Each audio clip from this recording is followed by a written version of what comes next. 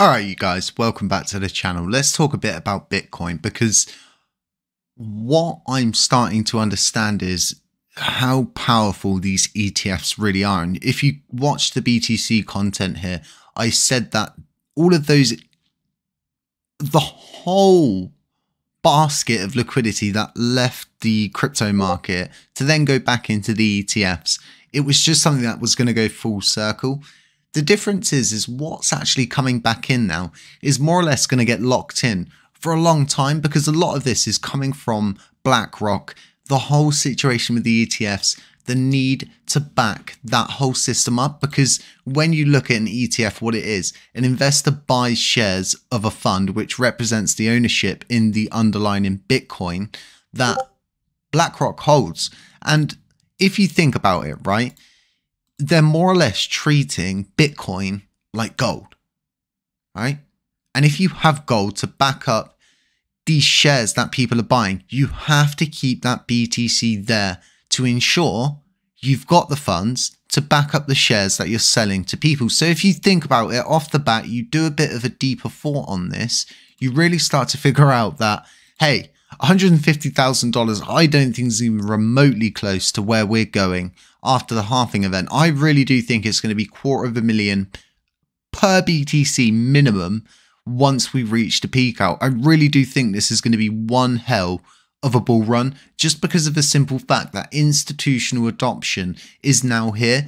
The ability for someone who's talking about Bitcoin anywhere and everywhere in the world, when someone gives the whole, isn't it just all a scam? Doesn't it all just go up to go back down? You can actually sit there and go, well, if that's the case, then why are these people getting involved? Why are they making the effort? Because the only way to truly control Bitcoin is to control the supply. If you can control the supply, sell shares to everybody, you've won the game at this point. But on that journey to wherever this is going, there's going to be a lot of gains to be made. And the reason why I say the journey of where we're going is because if you look at the dot com era, for example, if you think about all of the different search engines that you used to use, I mean, Ask Jeeves, Bing, all of the different search engines, whatever they would be, there's only really one now that the majority of the populace use, and that's Google, right? Everything's linked into Google. But if I was to say to you back in the dot com area, when you were sat playing RuneScape at your computer, that Google's going to take over the world and they'll be one of the most powerful entities for data control in the world, you probably would have just laughed at me and said, It's just a search engine, bro. It's just a search engine. What's going to happen is eventually this is all going to come down, bites a crunch, and about 10 cryptos are probably going to remain in the end.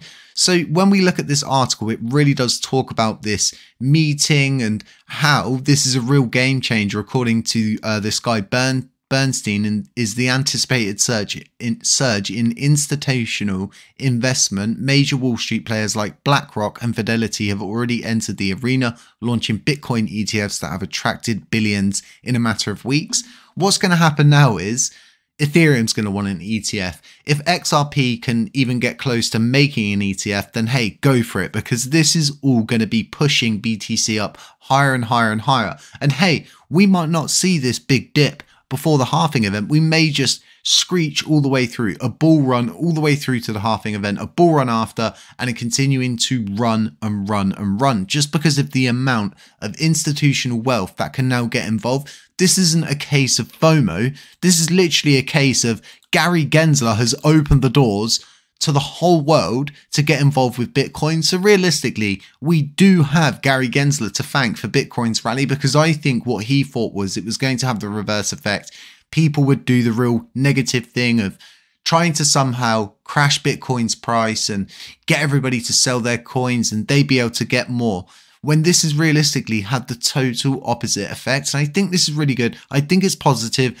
And guys, if you're on Twitter at Gary and thank him for the Bitcoin rally. That's all I've got for you for now. Just a, a little bit BTC rant for you guys, what I really think's going on and what I think possibly could be happening. So just before I end this video, let me bring the Bitcoin day chart up because if we was to say to ourselves, for example, there's going to be a dump.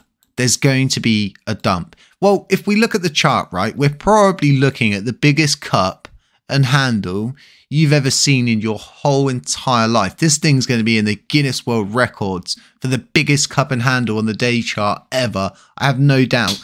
So when this big dip does come, trade safe, guys. Prepare for this, okay? Don't get overconfident.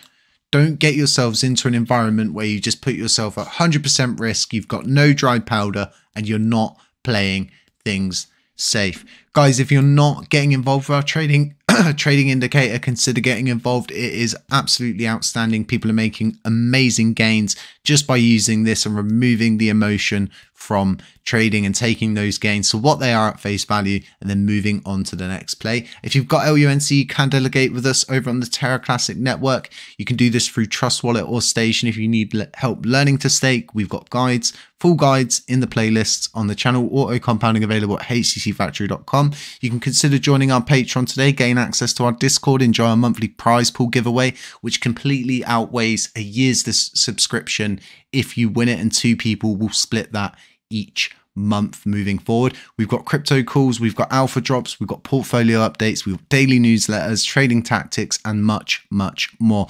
Other than that, folks, stay safe, stay humble, stay aware, and as always, I'll catch you in the next one. Ciao!